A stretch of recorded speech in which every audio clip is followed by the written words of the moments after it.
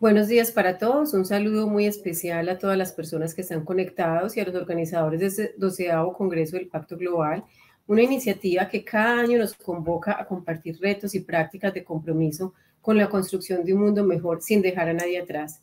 Hoy desde ICE Intercolombia nos estamos vinculando a este llamado a la acción a lograr un mundo mejor más justo, equitativo, sostenible y en paz. Y especialmente esta invitación que nos hace el secretario general de las Naciones Unidas a enfocar esfuerzos hacia una recuperación por las personas, el planeta y la prosperidad. Nos motiva y nos emociona mucho compartir con ustedes nuestra visión y nuestro progreso en esta senda de construcción de paz, que es un compromiso además transformador desde el enfoque desde los territorios. Les vamos a hablar de eso, de cómo lo hacemos desde los territorios. Y para eso entonces empecemos con contarles que NISA y, nuestra, y sus empresas nos trazamos una estrategia al 2030 que incluso hoy se está expandiendo al 2040. Esa estrategia fue declarada en el 2017 y allí nos trazamos como propósito superior este, eh, este, esta frase que es conexiones que inspiran. Es decir, nosotros no solamente transportamos energía, sino que estamos conectando regiones, conectando comunidades, conectando seres humanos e inspirando con esas conexiones. En este rumbo entonces de nuestra estrategia 2030 y de las, conexiones que inspiran, eh, esto nos invita a ir más allá de los retos que, que, traen los negocios propiamente, ir más allá de los retos técnicos y hablar en términos más humanos y con mucho más sentido, hablar de vida. Y aquí ven ustedes el acrónimo de esta palabra que nos convoca en esta estrategia y nos inspira a que eh, actuemos eh, impulsando el cuidado de nuestro planeta que está expresado en la B del verde, pero que también seamos innovadores para que generemos impactos positivos, que tengamos el desarrollo de los procesos transformadores y que todo eso lo hagamos a través de la articulación con otros, porque claramente solo no podríamos hacerlos. ¿Y quiénes son esos otros? Pues nuestros grupos de interés, donde están accionistas, trabajadores, clientes, proveedores, sociedad, Estado.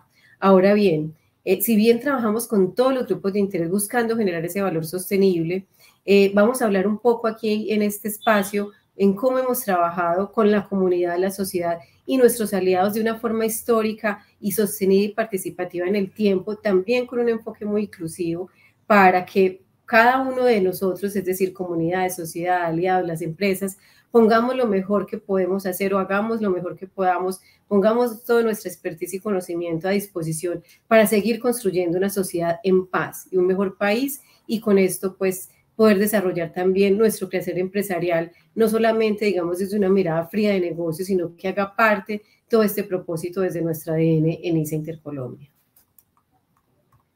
Eh, INSA Intercolombia, entonces, se los he venido mencionando, pero para dar aquí un poco más de contexto, pues es la empresa transportadora de energía de alta tensión más importante del país. Transportamos energía eléctrica conectando regiones, industrias y hogares en Colombia ese realmente es nuestro mayor aporte al desarrollo y la calidad de vida de, los colombianos y las colombianas, porque el servicio de energía es un servicio público esencial. Entonces, el, prestar ese servicio de transporte de energía aporta enormemente al desarrollo del país. Para eso, entonces, nosotros tenemos 11.640 kilómetros de redes en operación.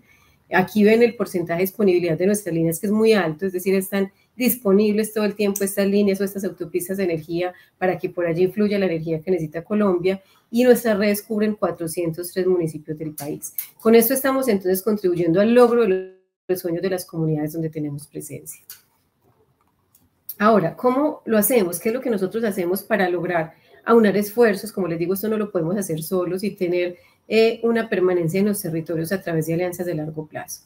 Lo primero es eh, focalizar es de esos 403 municipios donde tenemos presencia con nuestra infraestructura, priorizar y focalizar dónde vamos a estar año a año. Siempre estamos en todas las veredas o unidades territoriales donde estamos construyendo proyectos, eh, digamos proyectos que estén en etapa de diseño, licenciamiento o construcción. Y ya en la red de la operación priorizamos aquellas zonas donde necesitamos estar cada año. Por eso ustedes en ese mapa de Colombia que ven a la derecha ven unos circulitos donde están las presencias nuestra eh, durante el 2022 con distintas iniciativas y con distintos alcances. ¿Y qué hemos trabajado nosotros entonces en esta gestión social y en esta eh, eh, en nuestros territorios? Lo trabajamos desde estas líneas de inversión que ustedes ven a la derecha de la diapositiva. Trabajamos en fortalecimiento institucional y organizacional de las comunidades, de las juntas de acción comunal, por ejemplo, de organizaciones comunitarias, de los incluso entes territoriales. Trabajamos temas de educación en todas las esferas, con los centros educativos, pero también con los niños, con las familias, con los docentes, en fin. Trabajamos temas de desarrollo productivo rural, porque obviamente hay que impulsar la economía del campo. Temas de derechos humanos, es la otra línea de, trabajo de inversión social. Eh, derechos humanos, porque debemos, todas, nuestra premisa es la protección, promoción y respeto de derechos humanos, y, y para eso tenemos que fortalecer y capacitar, capacitar a las comunidades para que los puedan conocer y hacerlos valer.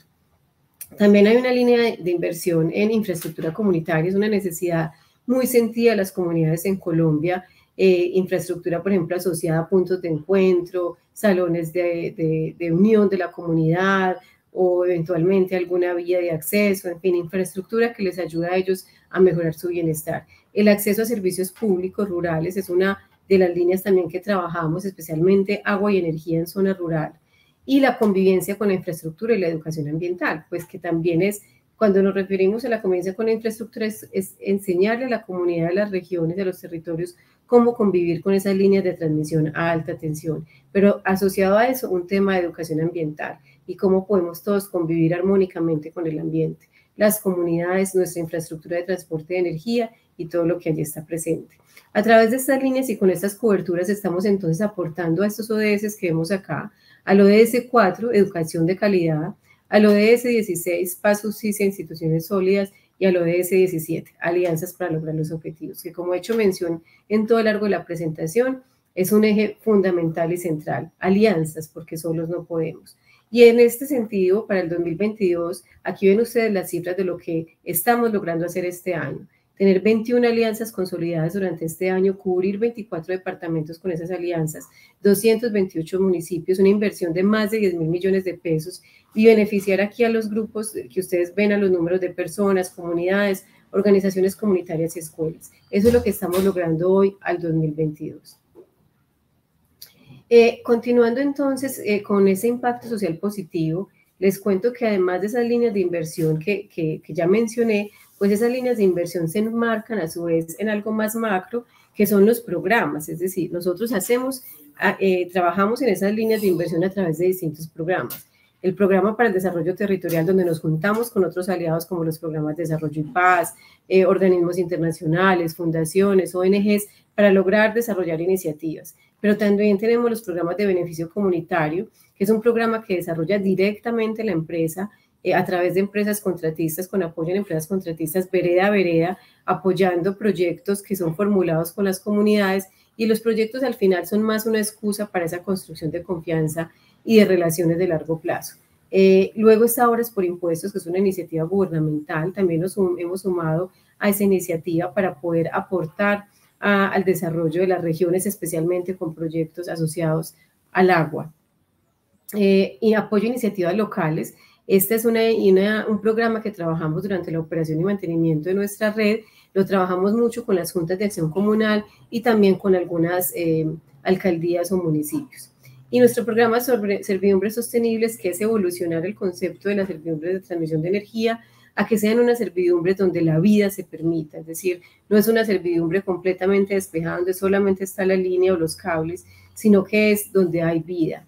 Vida que pueda convivir, eh, eh, digamos, con esa infraestructura, que se cumplan todas las especificaciones técnicas para el cuidado mismo incluso de la vida, que el servicio se pueda prestar adecuadamente y que, pero que eh, haya vegetación, por ejemplo, de bajo porte, actividades productivas que convivan con esa infraestructura.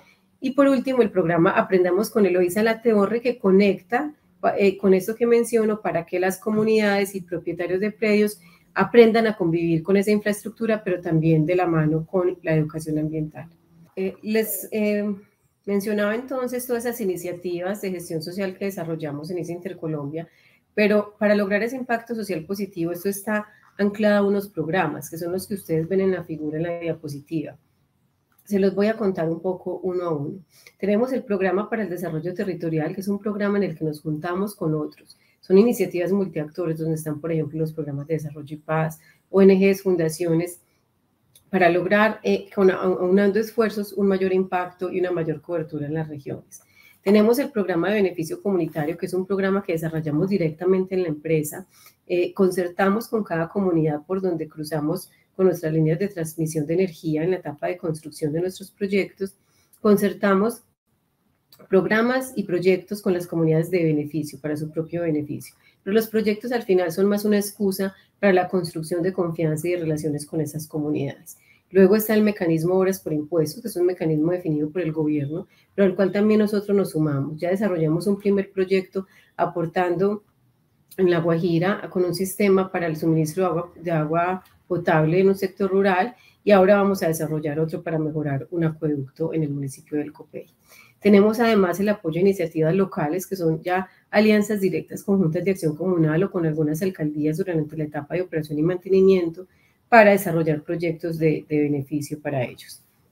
Servidumbre sostenibles, que busca eh, desarrollar debajo de nuestras franjas de servidumbre, la línea de transmisión, eh, vida, ¿cierto? Vida que conecte con el cuidado de los ecosistemas, con usos productivos del suelo alternativos, entre otros, pero que haya vida allí en esos en esas servidumbres de paso de energía.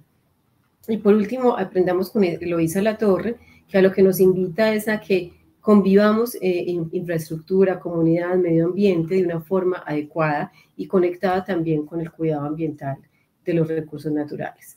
Todos estos programas y estas líneas que les mencioné buscan siempre que, digamos, estos tres énfasis, que estemos aportando de cualquiera de las formas a la reactivación económica sostenible, especialmente con, lo que les he mencionado de servicios públicos rurales como agua y energía, pero también tenemos un énfasis transversal que es la equidad e inclusión.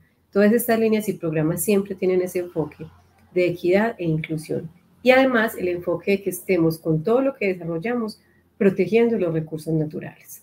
Igualmente hay dos programas sombrilla, que son programas de ICE y sus empresas y que cubren todo esto que les he contado. Conexiones para el desarrollo y el voluntariado corporativo. Continuando entonces eh, sobre esta invitación que, que, nos hace también el Pacto Global a hablar de paz y de los ODS, entonces les cuento que esos programas, especialmente el que les mencioné, que se llama Programa para el Desarrollo Territorial, tuvo un reconocimiento eh, eh, por el aporte que hace al ODS 16, Paz, Justicia e Instituciones Sólidas específicamente aportando a la reducción de violencia contra niños, al acceso a la justicia, a la participación y representación, al fortalecimiento de los procesos participativos, a temas de anticorrupción, transparencia, promoción del Estado de Derecho y reducción de la violencia y tasas de mortalidad. Y aquí en este recuadro, no los voy a leer, están distintos programas que estamos trabajando actualmente con enfoque específicamente de paz. Lo que quiero mencionarles es que son muchos. Y esto no lo hacemos pues, para contarles lo que estoy aquí compartiendo, qué hacemos desde ICE Intercolombia, sino para que esto sea una motivación una invitación a que juntos logremos y sigamos trabajando e inspirando a otros en esa construcción de paz y logremos esos objetivos de desarrollo sostenibles. Ahora, hasta aquí les he contado un poco lo que hacemos, pero también quiero hacer énfasis en el cómo. Cuando nosotros eh, trabajamos con las comunidades, no solamente, digamos, proponemos, sino que escuchamos, es una lectura de abajo hacia arriba. Eh, que, que, lo que hacemos conecte con los propósitos estratégicos de la empresa, claro que sí, pero que todo esto salga de propuestas de los territorios, de lo que ellos ven, de lo que los, pues al final las empresas somos las que llegamos un poco como foráneas a las regiones pero ellos son quienes conocen sus entornos, sus necesidades, y eso hace entonces que ese crecimiento y esa propuesta de abajo hacia arriba haga que estos procesos y, iniciativas tengan éxito en el tiempo. Eh, para eso además, lo, eso lo, hacemos con un enfoque de construcción de confianza. Eh, estamos convencidos de que estas relaciones son tejer lazos entre seres humanos y para eso pues eh, desarrollamos distintos procesos participativos y de consulta durante toda la operación de nuestra infraestructura. Eh, tenemos procesos de consulta previa, rondas de relacionamiento, distintos espacios de información y participación comunitaria que ustedes ven allí las cifras, no las voy a detallar, y además también estamos trabajando en la divulgación de planes de gestión del riesgo. Todo esto de una forma permanente y anticipada, teniendo siempre como centro el diálogo y la construcción de relaciones genuinas y de confianza. Ya para cerrar, reitero con lo dicho al inicio de esta presentación, desde ICE Intercolombia nos vinculamos a ese llamado a la acción para lograr un mundo mejor, más justo, más equitativo, sostenible y en paz. pero sobre todo queremos invitar a esa construcción de confianza entre los distintos actores que conformamos la sociedad, de forma que logremos esa conexión con la vida.